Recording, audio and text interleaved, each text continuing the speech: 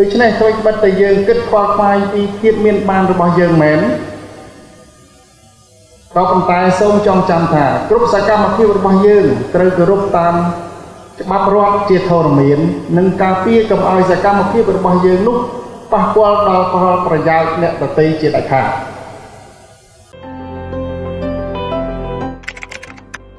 រដ្ឋា leadership សិក្សាស្រាវជ្រាវ និងបង្កើតភាពជាអ្នកដឹកនាំ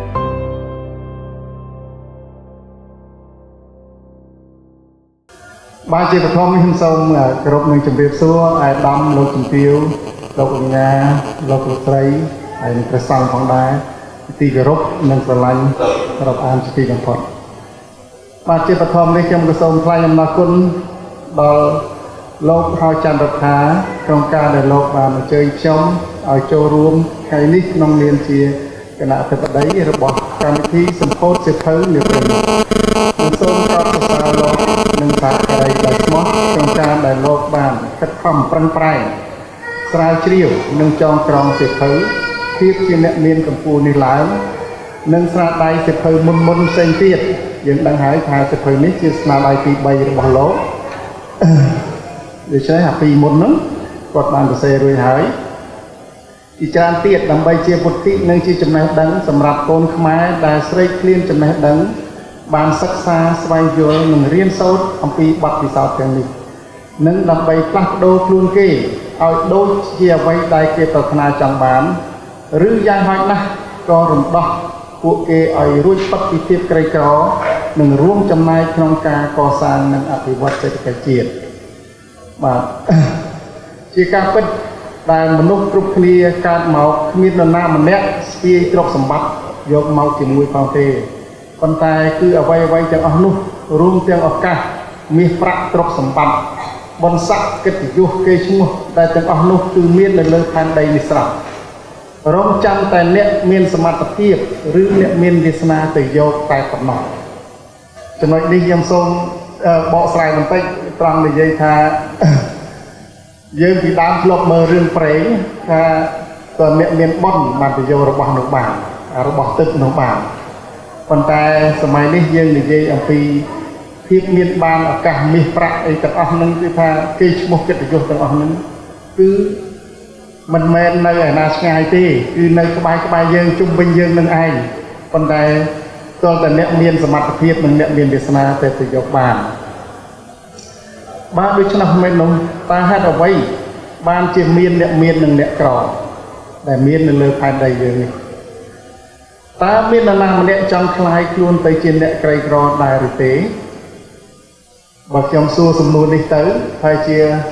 អស់លោកបងប្អូនទាំងអស់គ្នានឹងឆ្លើយថាគ្មានទេមាននរណាម្នាក់ចង់คลายទៅជាអ្នកក្រីក្រទេដូចនេះសិភៅភាពជាអ្នកមានកម្ពុជានេះអាចជាចម្លើយសម្រាប់មនុស្ស មួយចំនួនដែលអាចយកទៅអនុវត្តតាមបានបាទយើងបានស្ដាប់បទបង្ហាញជាច្រើនរបស់វាគ្មិនយើងហើយរួមទាំងការបើកសន្ទរកថាបើកកម្មវិធីនេះដែរគឺលោកជំទាវបាននិយាយរំលឹកយើងដែរថាសិភៅនេះបានដកស្រង់ចេញមកពីសហគមន៍អឺរ៉ុបភាគច្រើនដូច្នេះប្រហែលជាមិនត្រូវតាមយើងទាំងអស់ទេ យើងយកមកអនុវត្តនៅកម្ពុជាយើងនេះក៏ប៉ុន្តែយ៉ាងហោចណាស់គឺយើងអាចរកចម្លើយណាដោយយើងបានលើកនិយាយជាមួយគ្នាមិញមិញលោករដ្ឋានិយាយថា30រូបណា30ប័ណ្ណពិសោធន៍ក្នុងមួយប័ណ្ណពិសោធន៍តម្លៃតែ1ដុល្លារទេប៉ុន្តែយើងអាចជ្រើសរើសក្នុងចំណោម30នោះតើមានប័ណ្ណពិសោធន៍ណាមួយដែលស័ក្តិសមត្រូវជាមួយនឹងយើងយើងអាចអនុវត្តបាន ដើម្បីរំដោះខ្លួនយើងនឹងឲ្យផុតពីភាពក្រីក្រឬក៏អាចคล้ายទៅជាអ្នកមានកម្ពុជាដោយគ្នាយើងបានលើកឡើងមកដែរខ្ញុំបានអានផ្នែកខ្លះនៃសិភៅនេះហើយឃើញថាតួអង្គនីមួយនីមួយភាគច្រើនបានឆ្លងកាត់ជីវិតដ៏សែនលំបាកប៉ុន្តែពួកគេទាំងនោះមិនបានបោះបង់ចោលបំណងប្រាថ្នារបស់គេឡើយពលគឺពួកគេតស៊ូព្យាយាមនិងប្រឹងប្រែងបន្ថែមទៀតដើម្បីសម្រេចបានគោលដៅរបស់ពួកគេ គ្មានជោគជ័យណាមួយដែលបានមកដោយស្រួលនោះទេបាទបើសិនណាជាជោគជ័យទាំងនោះពិតជាបានមកស្រួលស្រួលមែនគ្មាននរណាក្រមួយទេសិតតែជាអ្នកមានហើយមែនទេបាទគឺបានមកដោយលំបាកពលគឺត្រូវឆ្លងកាត់ការប្រឹងប្រែងអត់ធ្មត់ទ្រាំទ្រការលំបាកជាច្រើនទើបទទួលបានជោគជ័យទាំងនោះយើងឃើញហើយវាគ្មិនយើងបានបង្ហាញចំនួន6រូបដែលគាត់បានបានធ្វើបទបង្ហាញឃើញថាចាប់អារម្មណ៍មែនទែនចំពោះខ្ញុំដែល ជាគណៈអធិបតីចូលរួមនេះក៏ខ្ញុំស្ដាប់យ៉ាងយកចិត្តទុកដាក់ពីព្រោះវាសំខាន់មែនទែនដែលគាត់លើកនិយាយស្វ័យបើតែសភៅមានសរសេរមែនក៏ប៉ុន្តែការយើងយកមកនិយាយដាស់តឿនគ្នានេះគឺថាវាមានរឹតតែមានសារៈសំខាន់ទៀតដូច្នេះបានជាខ្ញុំគិតថា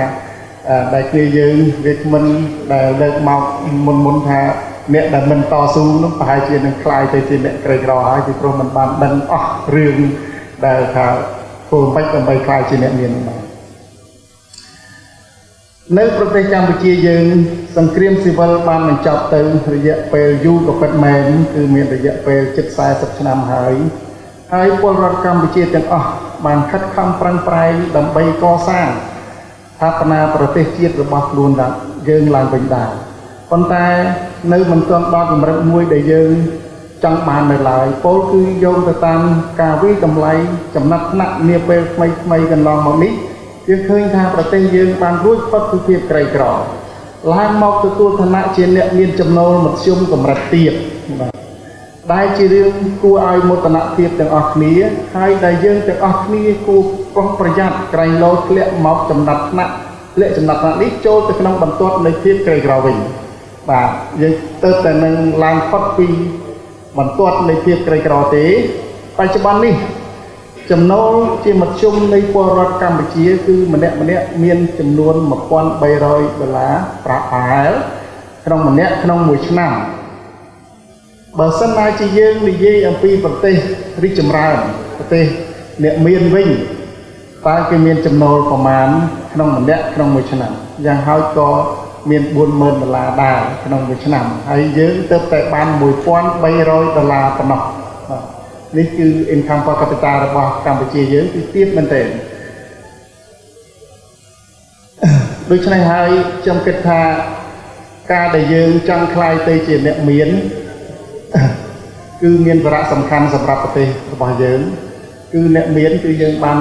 ស្ដាប់វាមិនយើងបាននិយាយជាច្រើនហើយគឺថាមិនមែនគោលដៅតែរកតែប្រាក់នោះទេប៉ុន្តែយើងរកប្រាក់នោះបានប៉ុន្តែសកម្មភាពទាំងឡាយរបស់យើងនោះ គឺដោយគោរពបាននិង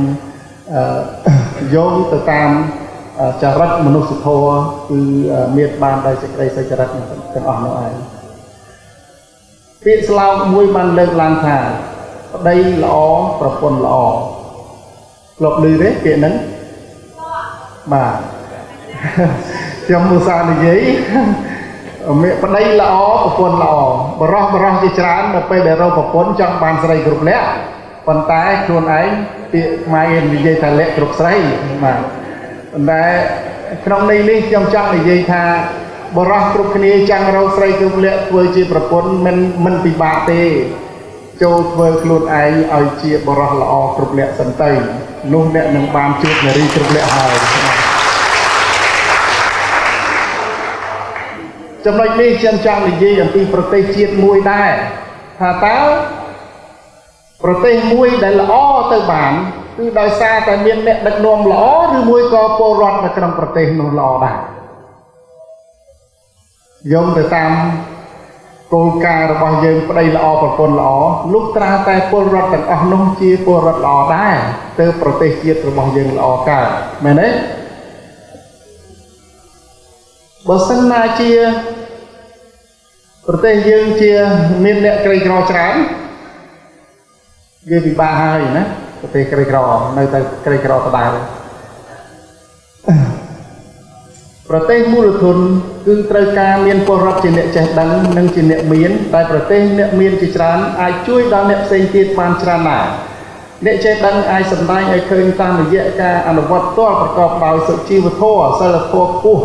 ក្នុងការរស់នៅរបស់គេការប្រស័យតតងជាដើម ដូច្នេះគ្រាន់បិទតែយើងគិតខ្វល់ខ្វាយពីភាពមានបានរបស់យើងមែនក៏ប៉ុន្តែសូមចងចាំថាគ្រប់សកម្មភាពរបស់យើងត្រូវគោរពតាមច្បាប់រដ្ឋជាធរមាន និងការពារកុំឲ្យសកម្មភាពរបស់យើងនោះប៉ះពាល់ដល់ផលប្រយោជន៍អ្នកដទៃជាដាច់ខាតនេះគឺសំខាន់ដែលយើងគិតអំពីក្រមសីលធម៌និងជីវិតរស់នៅរបស់យើងម្នាក់ៗគឺថា យើងគិតគូរប្រកបតែរបបសុចរិតដូចជាក្នុងបទបង្ហាញយើងនេះគឺថាអត់មានរបបណាដែលច្បាប់រដ្ឋហាគាត់ទេនោះគឺសំខាន់សំខាន់យើងខ្ញុំសង្ឃឹមថាអាយដាមលោកជំទាវលោកអញ្ញាលោកលោកស្រីអ្នកនាងកញ្ញាទាំងអស់គ្នាអាចយល់បានពីគុណតម្លៃទាំងនេះនិងចូលរួមជាមួយនឹងរាជរដ្ឋាភិបាលដើម្បីកសាងស្ថាបនាប្រទេសជាតិយើងទាំងអស់គ្នា ដើម្បីប្រែក្លាយប្រទេសកម្ពុជាទៅជាប្រទេសដែលមានចំណូលមធ្យមកម្រិតខ្ពស់និងមានចំណូលកម្រិតខ្ពស់និងប្រែក្លាយប្រទេសកម្ពុជាជាប្រទេស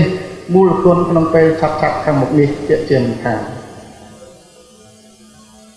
ខ្ញុំសូមគោរពជូនពរអាយដាមលោកជំទាវលោកអញ្ញា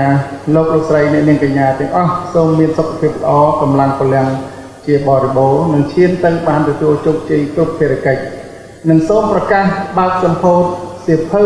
ភាពជាអ្នកមានកម្ពូលដែលរៀបរៀងឡើងនិងជាស្នាដៃទី3របស់លោកហោចច័ន្ទរដ្ឋានិងរដ្ឋាលីឌីងចាប់ពីពេលនេះតទៅសូមអរគុណយើងសម្ពោធដាក់ឲ្យប្រើប្រាស់ចាប់ពីថ្ងៃនេះតទៅសូមអរគុណនាងខ្ញុំសូមថ្លែងអំណរគុណចំពោះសន្និដ្ឋានដល់កម្មវិធីដ៏មានតម្លៃនិងការគ្រប់គ្រងចំពោះសិទ្ធិស្រាវជ្រាវភាពជាអ្នកមានកម្ពុជា របស់លោកអុកញ៉ាបណ្ឌិតប៊ុនមនីប្រធានក្រុមរដ្ឋាភិបាលវិថី Microfinance